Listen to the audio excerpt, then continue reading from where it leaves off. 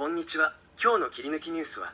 衆議院議員選挙東京1区新宿区千代田区から立候補いたしました佐藤沙織と申します。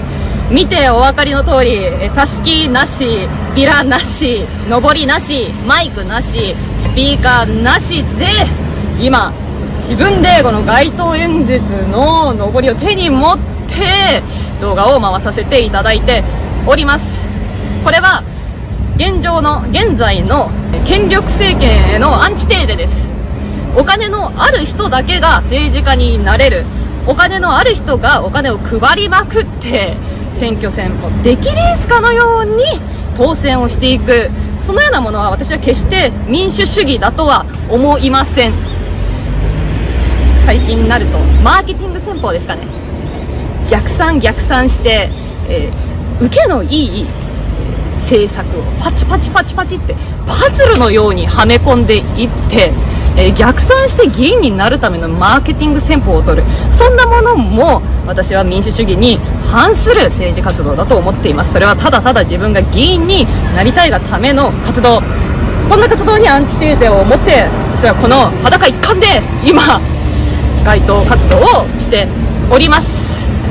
そんな私が訴えたいこと。裏金議員裏金議員騒がれておりますがまさにその部分です。裏金議員にお金を回すのではなくて国民に国民の血税を本当に求める人のお財布の中に入れましょうと。つまり手取りを増やしましょう。減税をしましょう。そのことを訴えて私今この地に立っております。とにかく減税減税。減税。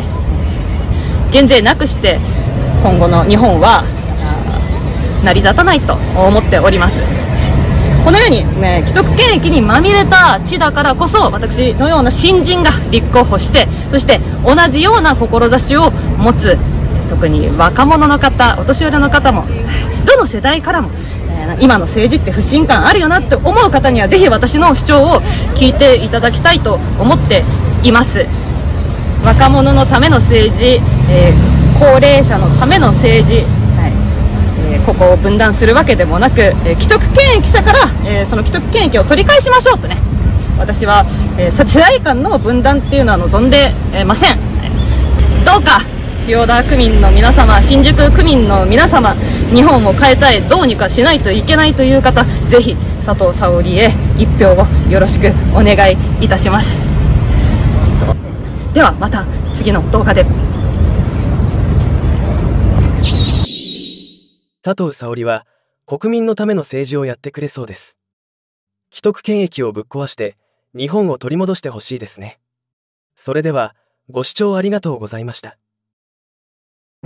悪の化身と裏金議員と悪魔の議員をぶっ壊す。そして日本を取り戻すけね。いきますよ。じゃあ締めですよ。いきますよ。せーの。北区系ぶっ壊す